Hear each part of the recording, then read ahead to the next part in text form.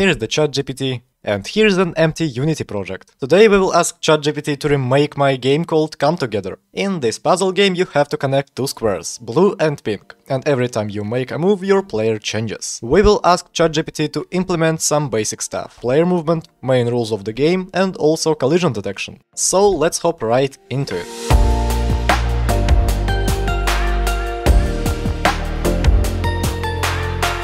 We've got a main camera, I also added players, for now they only have sprite renderers. I also added a simple block as a prefab, so that when we will be adding collision or something else, I won't need to change every single block that I have placed. That's it for the scene, let's begin. Now I will need to briefly tell ChatGPT about the game I'm going to make, so this is a concise explanation I have came up with. Let's send it and see what ChatGPT is gonna respond with.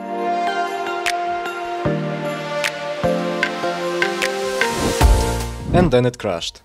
But no problem, I sent it again and there we go. And oh my gosh, this script is already better than the previous one.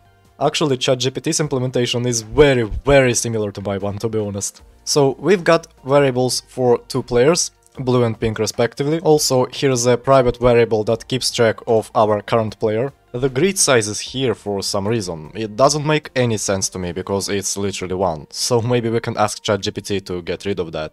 And here is the response we are getting. Let's continue talking about script. In start we are basically assigning our first player, which will be blue, and the update method already handles our movement just fine. I can already predict that. I like this implementation because we don't have to work with input system, we don't have to implement horizontal, vertical axes and we don't need to make any checks on them. So yeah, ChatGPT, this is a good one.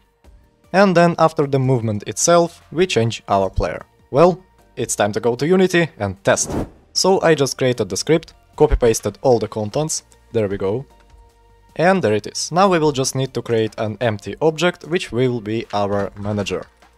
Assign the script, and now it's time to assign our players. Great, let's see how it works.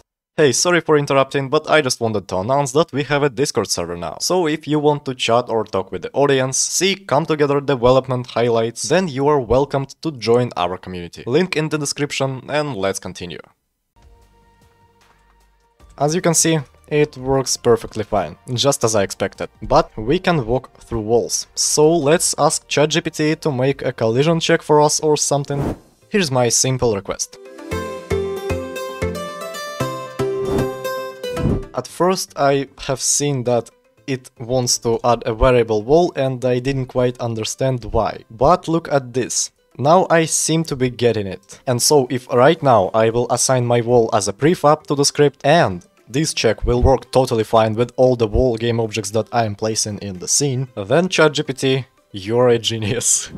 Updated the script and let's see how it works. Here's the wall game object that I am going to assign. But no, turns out it doesn't work for now. Maybe we should add box collider at first? And there we go. I added a hitbox to my wall, so let's see if it will work now. Though that didn't help, I even added box colliders to our players. Well, let's see what could go wrong. Something tells me that this method is at fault. I feel like it only works in 3D. Let's ask ChatGPT about 2D implementation. And this is my simple question. And yes, ChatGPT, you are absolutely right. Let's try this one. And unfortunately, still no desired result. Let's help it a little bit. In my implementation of this script I use overlap box, so that's why I asked ChatGPT to use it as well. I'm pretty much sure that it should work. And good news, well, we're on the right direction. It partially works. But unfortunately I can't just assign a prefab and hope that it will work for all the game objects. And yes, while the left block is completely transparent, the right one works as a block finally. But no worries, I'll just ask ChatGPT to re-implement this feature so it will work on all the game objects. And yes, ChatGPT, this is the implementation I have been waiting for from the very beginning. All we need to do is to tag our prefab, then all the blocks in the scene will be tagged as well, and the script will do its job. If you still don't know how it works, our script simply checks if the collider has the tag we specified. Easy as that. All we need to do is to write a string in the inspector that will be our tag. And on this note, I can finally announce that our collision works perfectly fine. And now for the final touch. Let's send a message to the console once our players connect. And here ChatGPT bugged a little bit once again, but I just asked him to send final parts of the code again. And this is our implementation that we will copy and paste. And I must admit, this way of checking if players are colliding is cool and impressive. I simply use tag method while ChatGPT brought that to a whole new level. Our code checks if the distance between players is too small, then, well, they are colliding. It's very simple to understand. And prepare to watch the final result for this video. Come together recreated entirely by artificial intelligence.